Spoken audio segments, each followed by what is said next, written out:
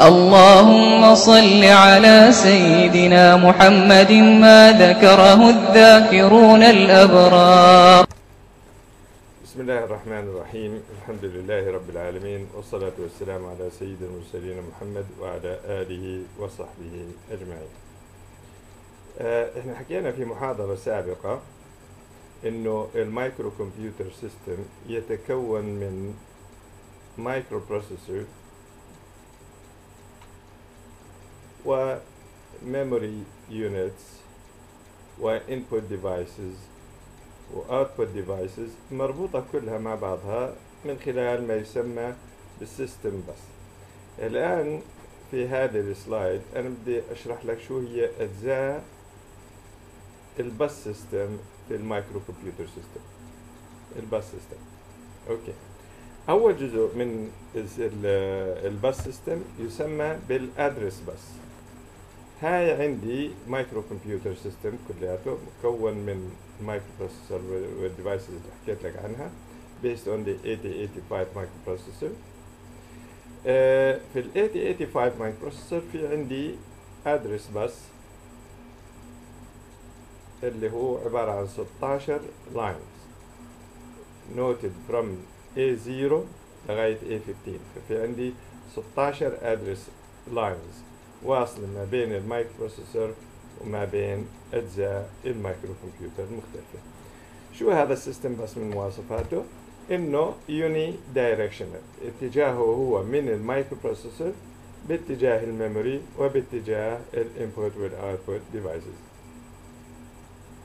إيش يعني لما يكون عندي على ال microprocessor 16 line معنى الكلام هذا إنه ال microprocessor can address can address 2 to the power 16 2 to the power 16 address lines. هذا 2 to the power 16 اللي هي عبارة عن 65536 addresses. هذا يسمى ال address space.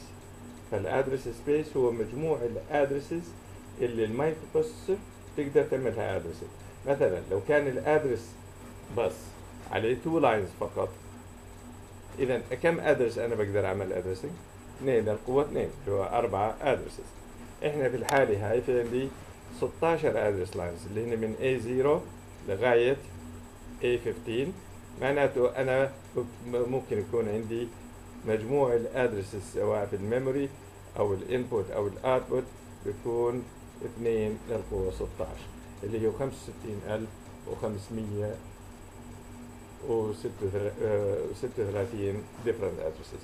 في علم ال digital كل 1024 addresses يسمى 1K فال 65000 هي عبارة عن 64K فبنقول إنه ال 8085 ك microprocessor ال address space تبعها هو 64K طيب هذا هو الجزء الأول من ال system bus.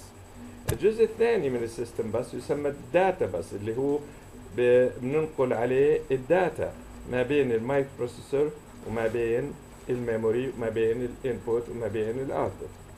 في الحالة اللي إحنا شايفينها هون ال data lines عددهم ثمانية من D0 ل D7 فبقول إنه ال word size لهذا ال system أو ال word size لهي ال microprocessor هو 8 bit اللي هي 1 بايت طبعا ال data bus شو ماله؟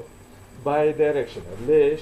لأنه أنا بنقل معلومات من ال microprocessor لل memory أو لل output أو بنقل معلومات من ال memory أو ال input devices بنقلها لل microprocessor فال data بتنتقل bidirectionally على هذا الجزء من ال bus system أما الجزء الثالث من ال bus system هو ال control bus. ال control bus unidirectional أيضا لأنه ال control دائما بيتم من خلال ال microprocessor نفسها وهاي بتشمل مجموعة من ال control lines زي ما راح نشوف لاحقا ال read control line وال write control line كأمثلة عليها. okay. اذا هون فرجيتك شو؟ إنه ال bus system مكون من ثلاث أجزاء ال address bus data bus control bus وحكيت لك انه في شيء اسمه ال address space لل microprocessor اللي هو عدد ال address lines okay؟ يحدد بواسطة عدد ال address lines وفي عندي شيء اسمه ال word size لل microprocessor يحدد بواسطة عدد ال data lines ال microprocessor هاي اللي هي ال 8085 بقول عنها a 16 by it's a 16 by 8 microprocessor شو يعني؟ 16 هون شو هي؟ هي عدد ال address lines وال8 هون شو هي؟ عدد ال data lines فهكذا تصنف المايكرو بروسيسورز